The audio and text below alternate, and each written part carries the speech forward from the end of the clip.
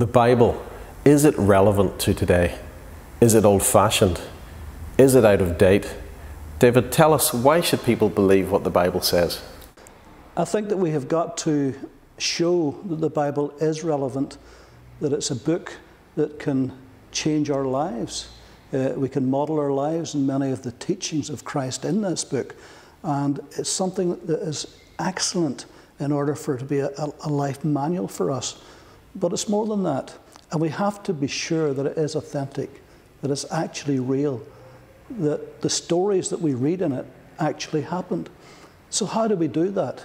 Uh, because uh, as children, many of us went to Sunday school and we were told these stories in a very, very simple way, in a way that our little childish minds could understand. But of course, there are many people who has no church background, who's no religious background, or who's a different religious background, but they still have heard some of these Bible stories. Sometimes even a movie's made into, like Noah's flood or something like that. So they hear all these stories and they wonder, well, did that actually happen? Or is these just hand me down stories? Is this just folklore? Are, are, these just legends and myths? Because every ancient civilization has had its own myths and legends and its own folklore. So, why would the Bible be any different?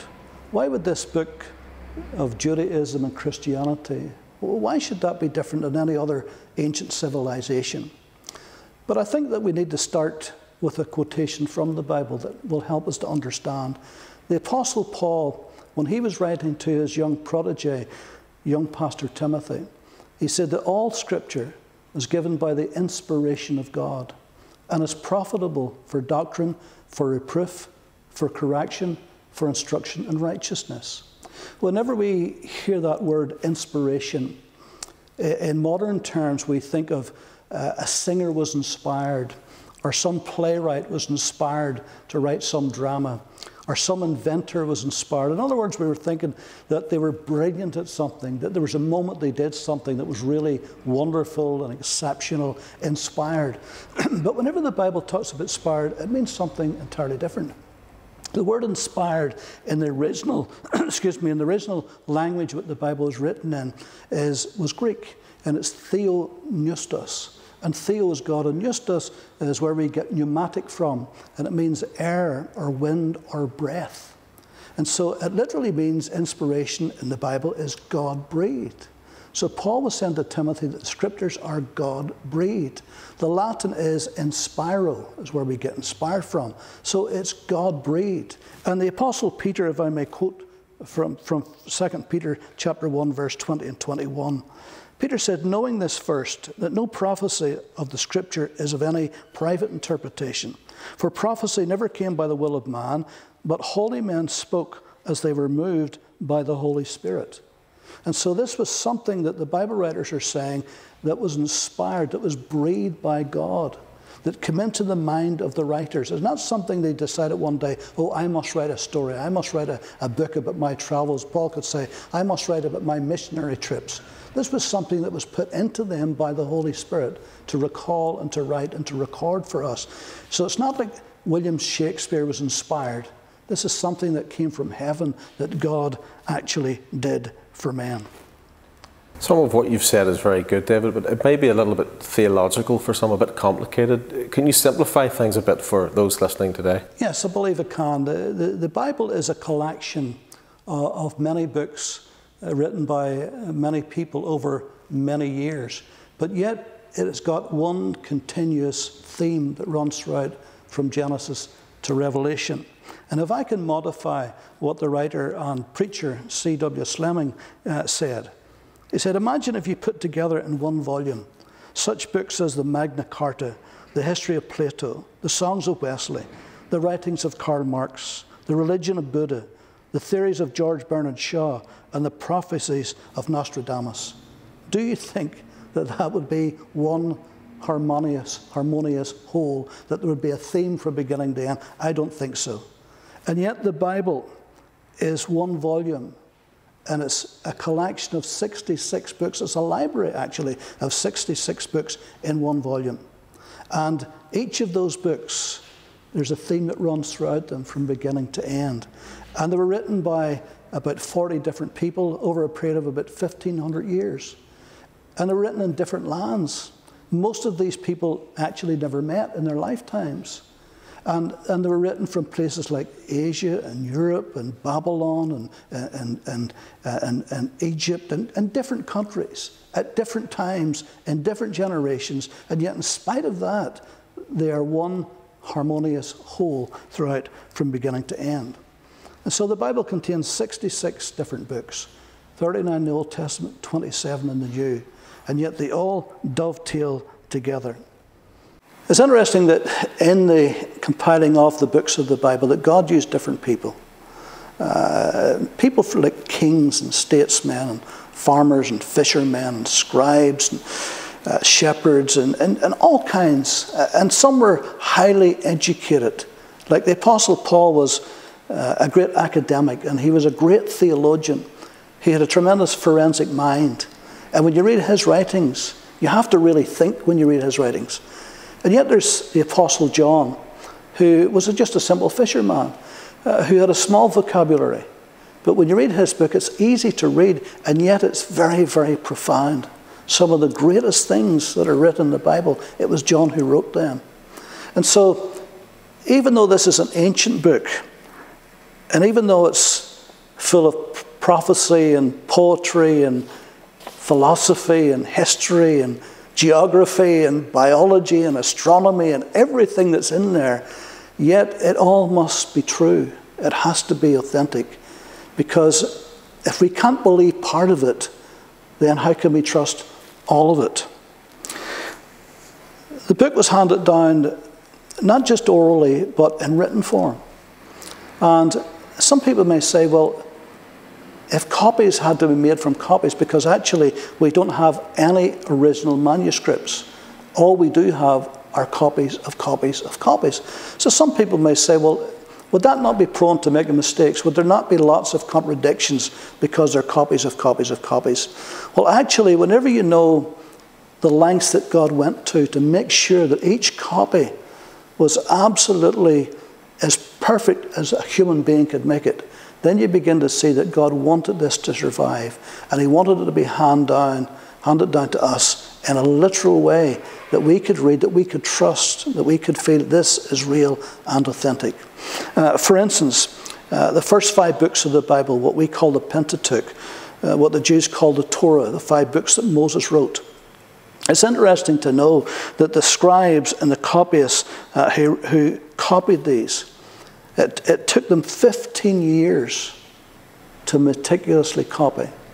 And not just every word, but every letter of every word was checked from five different scrolls.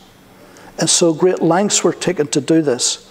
And in fact, three more years after it was completed, that the scribes and the copyists had to reread these to make sure there was no mistakes and to correct any that was there. I've heard mentioned the Dead Sea Scrolls. What are those, David? The Dead Sea Scrolls was a tremendous find. Uh, it happened roughly about 1947, and it was uh, shepherd boys in the area of uh, Qumran, which is just close to the, a mile or so from the Dead Sea. And there's lots of caves there, there's about 11 caves. And one of the boys went into one of the caves and he found in clay jars, didn't know what it were at the beginning, we only found out later. He found in clay jars uh, writings which were from the Hebrew Bible. In fact, there was parts of every book in the Hebrew Bible except the book of Esther that were contained in these jars. And one of the greatest finds in these jars was a scroll of the book of Isaiah. Now, what makes this interesting is this that it's probably about uh, the second century before Christ whenever these were found. And uh, the earliest we had before this was in the 12th century AD. And so here we have the Dead Sea Scrolls, the book of Isaiah, found two, second century BC, and we already had some copies from the 12th century AD. So we could go back now a thousand years and compared these two scrolls. And whenever they did that, they found that they were very, very accurate. There was very, very few mistakes made. And even any little mistakes that were made, it might have just been a letter, maybe in one word, but it made no difference to the text of the book of Isaiah. And so that shows you the painstaking work of the scribes and the copyists. And it shows you how God overseen this to make sure that what we would get today would be as accurate as it possibly could be in order uh, to help us. And although the Bible is a, a spiritual book, and it is a spiritual book, uh, but yet it, it's full of other things. It has to be true historically. Because if we couldn't trust the history of the Bible, then we can't trust any of it. And some people say, you know, for years they said, well, there was no such people as the Amorites. But then archaeology are finding, all the time they're finding that the Bible actually was literally true, that there were these nations, that there were these kings, and they lived in these generations. And so archaeology is proving it. And there's scientific things in the Bible. Even it's not a book of science. There weren't scientists that wrote the Bible, but they're scientific statements. And if they're not true, then we can't trust the Bible. But actually, they are true. And some of the scientific statements in the Bible, and we can't have time to go into it in this series, but some of them, which were ancient, are only found out in, in, in these last few generations to be accurate and to be actually true. And so, trying to comment on that would be a very difficult task. Now, mentioning again the work of the copyists, the scribes, to give you an idea uh, of, of the work that they did. The Talmud, the Jewish Talmud, uh, gives us several things about this. And if I just might quote these, it said the parchment had to be made from the skin of a clean animal, prepared by a Jew only, and must be fastened by strings from clean animals. Each column must have no less than 48 or no more than 60 lines. The ink must be of no other colour than black and had to be prepared according to a special recipe. Now, listen to this no word or letter could be written from memory.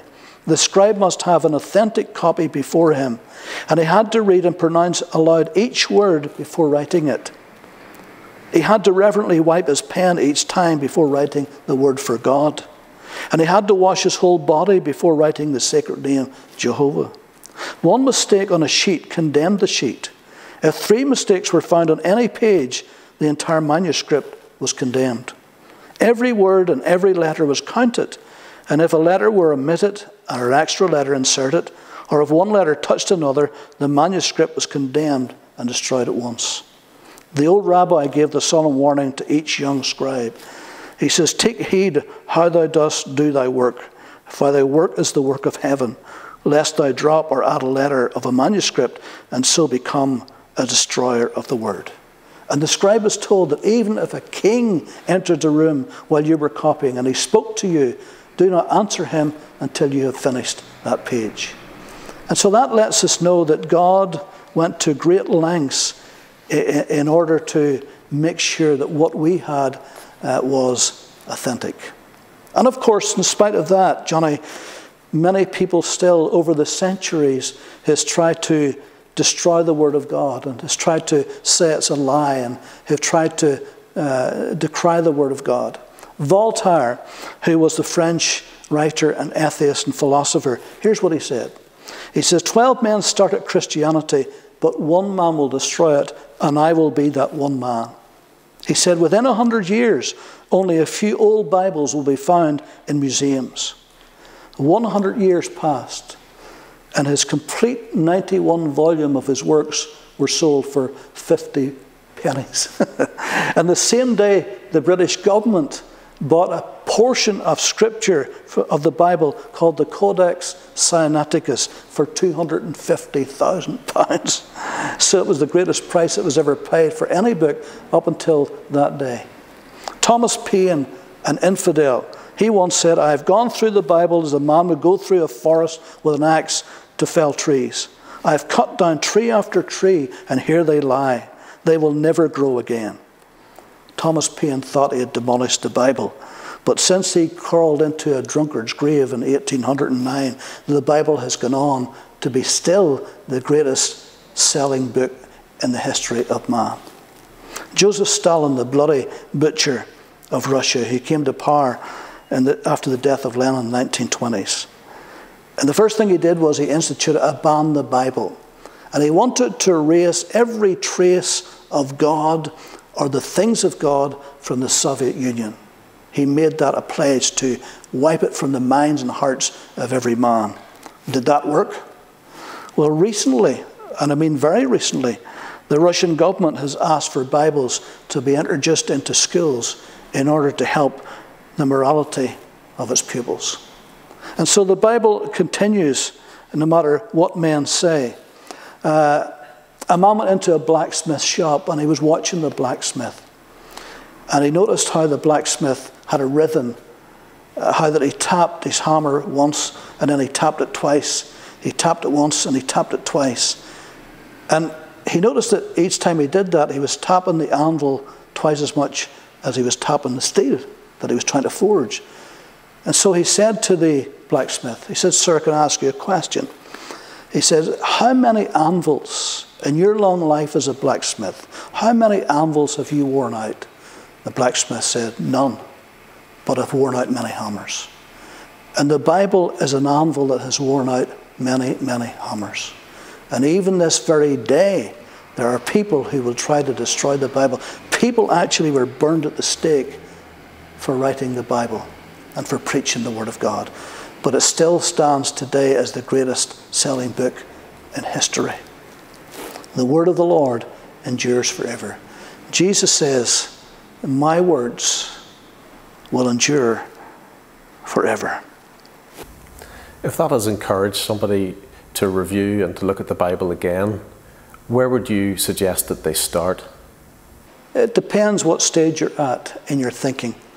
Generally, the first place to start on any book is the first page, and you work your way through. But if you were sincerely thinking about becoming a Christian, I think it would be good to start in the Gospels. Uh, and I think the Gospel of Mark or the Gospel of John would be a good place to start. And uh, of course, the, the four Gospels, some people say, well, they all look much the same. Well, the first three Gospels are called the Synoptic Gospels. Uh, and that's two words, sin and optic. An optic means see, and sin means together, to see together. Uh, and so Matthew, Mark, and Luke, there are many, many similarities. Each of the writers, writers, they look at the thing in slightly different ways. And actually, that's a good thing, because if this had been a conspiracy, that the disciples would write these stories, surely they would have got together and made sure their stories were absolutely straight but they didn't do that. Each of them wrote as they were moved by the Holy Spirit, and some included some details in the story that the others left out. So it's good to read those three together. Uh, the Gospel of John is, is different. The Gospel of John stands out from the other three in that it, it focuses mainly on the last few weeks of Christ's life. And it's a wonderful, wonderful book. And, uh, but all four together are just great just to read through and to get what it was like to see Jesus Christ on this earth in his day, the miracles he performed, the teachings he gave, uh, his life on this earth, and the temptations he faced, and his crucifixion, all these things. So that's where I would probably start if you were sincerely looking uh, to look into the Word of God, maybe to become a Christian, to start to read the Gospels.